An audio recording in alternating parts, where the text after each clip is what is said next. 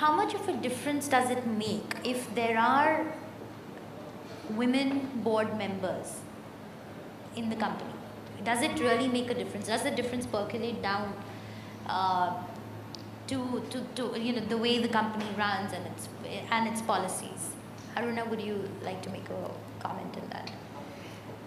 I think when you look at a board, you're looking for diversity of thought, of uh, experience, okay? And certainly having a woman on board certainly helps that piece. I'm not saying, at the end of the day, again, it's about the quality of experience and leadership that the person has as opposed to just being a woman. So, I mean, I don't want to get into the, the uh, those uh, kind of issues, but I think um, they do bring in a slightly different uh, perspective and, and that always uh, helps. Whether it translates directly into policy change or not is a different question. It depends on what are the questions they ask, to what extent they challenge the board, and so on. But if you get a really strong, uh, experienced person, and here I would say male or female, I mean, it's irrelevant at that some point of time. Sure. But as long as they challenge the board, okay, and it's not just passing the resolutions and doing that, but really questioning on the strategy, questioning on the direction, uh, you know, understanding the market and saying, why isn't the organization doing this? And then I think that's what you're really looking for forward.